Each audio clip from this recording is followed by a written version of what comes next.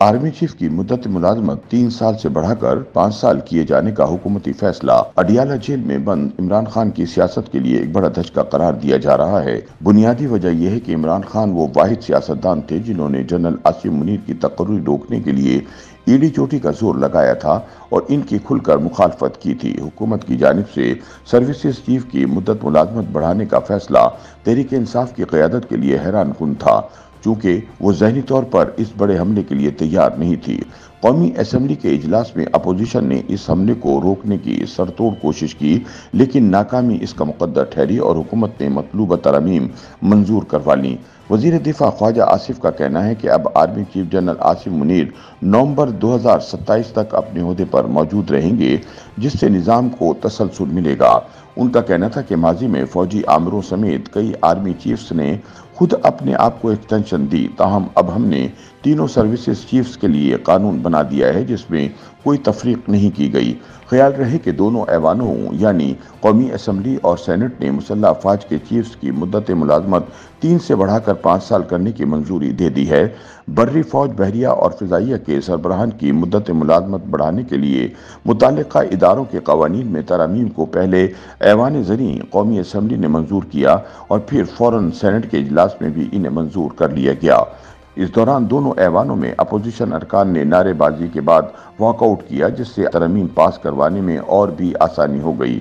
याद रहे कि इससे कबल आर्मी चीफ एक्ट के तहत आर्मी चीफ समेत तमाम सर्विसेज़ चीफ्स की मुद्दत मुलाजमत तीन साल मुकर थी और एग्जेक्टिव के इख्तियार के तहत आर्मी चीफ को तीन साल की एक्सटेंशन दी जाती रही थी। आखिरी बार मुद्दत मुलाजमत में तोसी सबक army chief general Qamar Javed Bajwa को दी गई थी और इनकी एक्सटेंशन की मंजूरी के लिए पार्लियामेंट में एक मुतफ़ा करारदाद भी मंजूर की गई थी, जिसके बाद एग्जेक्टिव ने उनकी मुद्दत मुलाजमत में तीन साल की तोसी कर दी थी। वज़ीर दिफा ख्वाजा आसिफ ने आर्मी चीफ और दो दीगर सर्विसेज़ चीफ की मुद्दत मुलाजमत पाँच साल करने का जवाब पेश करते हुए कहा कि यहाँ एक्सटेंशन का सिलसिला पहले फौजी डिक्टेटर जनरल अयूब खान के दौर में शुरू हुआ।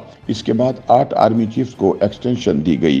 अयूब खान जियाउल हक और परवेज मुशरफ ने खुद अपने आप को एक्सटेंशन दी, जो कि इनकी ज़ात के लिए थी। लेकिन अब हमने इस बारे एक कानून बनाकर मामला वाज कर दिया है। इस सवाल पर कि इसकी ज़रूरत क्यों पेश आई? ख्वाजा आसिफ ने कहा कि मौजूदा हालात में तसलसल की ज़रूरत है और ये ज़रूरी है कि जो भी मुसल्ह अफवाज का सरबराह हो, वो इसम्बली और दीगर इदारों की पाँच साल मुद्दत की तरह मुनासिब वक्त के लिए बेहतर दिफाई मनसूबाबंदी कर सके।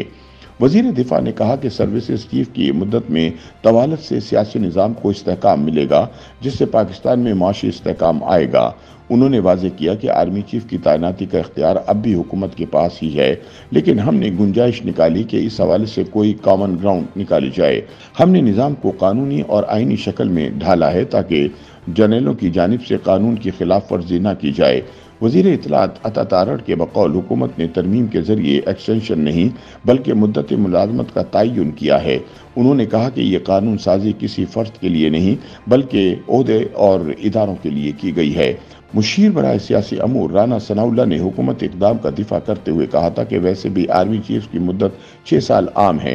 यूँ आप समझें कि आर्मी चीफ की मुद्दत मुलाजमत में एक साल की कमी हुई है। दूसरी तरफ़ कायदे हिजब इख्तलाफ उमर अयूब ने कहा कि सर्विस चीफ की मुद्दत मुलाजमत में तोसी मुल्क और मुसल्ह अफाज के लिए अच्छी चीज़ नहीं, क्योंकि इससे सीनियर फौजी अफसरान की हक तलफी होगी। ताहम राना सनाउल्ला ने जवाब देते हुए कहा कि उमर अयूब खान के वाले जनरल अयूब खान एक दिहाई तक फ़ील्ड मार्शल बनकर पाकिस्तान पर काबिज रहे। दादा जान को तो जर्नलों की सीनियरिटी का ख्याल नहीं आया था, लेकिन पोते को बहुत मरोड़ उठ रहे हैं। YouTube पर गूगली न्यूज़ देखने के लिए YouTube.com की सर्च बार में गूगली न्यूज़ टीवी टाइप करें। गूगली न्यूज़ के पेज पर सुर्ख रंग के सब्सक्रिप्शन वाले बटन पर क्लिक करना ना भूलिए। YouTube पेज पर अपलोड होने वाली वीडियो से बाखबर रहने के लिए बेल आइकन पर क्लिक कीजिए। आपको हर नई वीडियो के बारे में नोटिफिकेशन मौसू हो जाएगा।